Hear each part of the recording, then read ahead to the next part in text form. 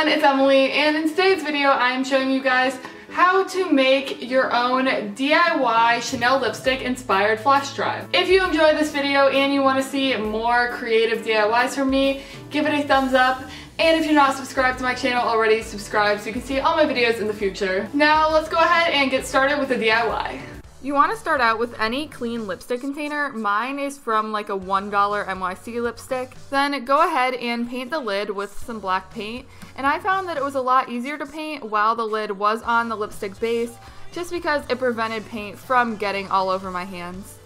And as you can see, this paint dried matte, but the base was still like kind of a shiny black, so I decided to paint the base as well. This is obviously optional, and it just depends on what lipstick you're using, of course.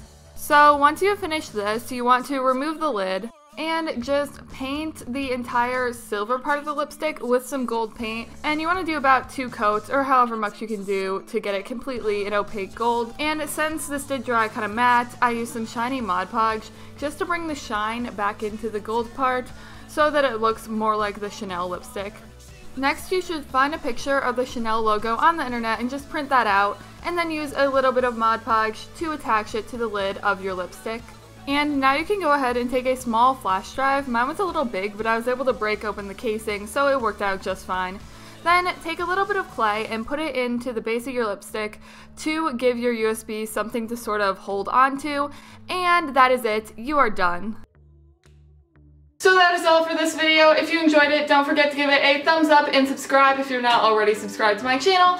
And I will see you all in my next video. Bye!